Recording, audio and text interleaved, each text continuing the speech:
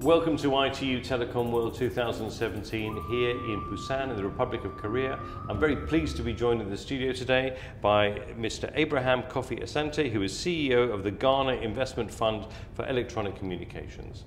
Mr. Asante, thank you very much for being with us in the studio today. Thank you for having me. Now, I'd like to start off by talking about uh, smart digital transformation is the theme of this year's ITU Telecom World. What does it mean to you? Yeah, well, smart digital transformation, um, I consider it as um, a, digital, a digital transformation that is supposed to make life convenient for the citizens of this world. And uh, in our part of the world, where we, go in digit, we want to digitize because we've been in the analog field for some time. And now there's a need for us to move rapidly, transforming into the digital age and using them to our advantage to create opportunities for people to live better. And what are the biggest challenges, in your opinion, and opportunities for smart technologies over the next five years, let's say?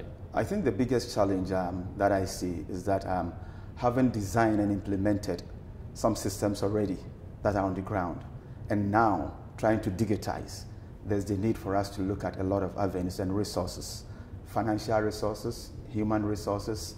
We need to look at all these things and also to establish the understanding that would make businesses um, now look at how they can transform by moving onto digital devices, making them available for the citizens, making sure that the business community have got the necessary resources for them to take up digitization.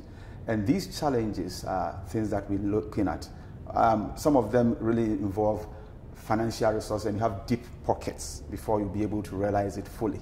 But I believe that we can move from one step to the other based on face to face movement, and we'll get there. And in terms of the projects that you're involved with, perhaps you could tell us a little bit about the projects you, looking at digital services.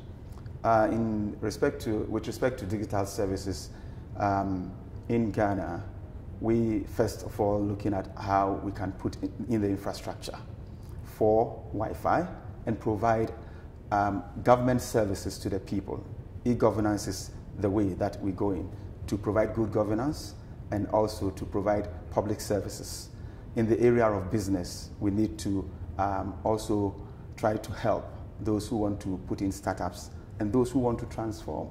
At least look at how we'll be able to make those who provide devices for these people have it easy for them to provide, and also those who want to procure the devices also have um, a leeway in trying to get them, so that incrementally we'll be able to get all these devices in place and also move faster because days technology is moving very fast, and if you are slow, um, you'll be beaten. We need to move fast. We need to encourage, and then also put in the policies that will make them work. Very inspiring words there. I wanted to ask you finally, in terms of your attendance here at ITU Telecom World, why is it important to attend this event? And has anything particularly inspired you? Has anything made you think? One of the things that I look at, I've been to most of the high level forum discussions.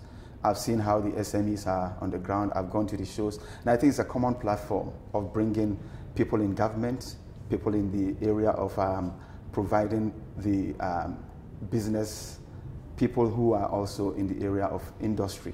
All of us on one platform. It's an, it's an international platform where we are trying to coordinate. And I believe that with this kind of coordination, we will be able to make the world better sooner than later.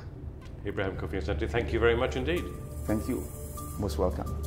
I'm grateful for the opportunity.